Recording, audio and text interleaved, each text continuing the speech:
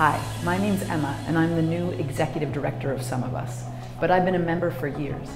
There are millions of us, and we live all over the world, and the best thing about this organization is we get to decide what we campaign on.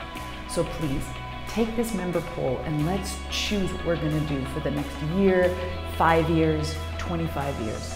I can't wait to get started.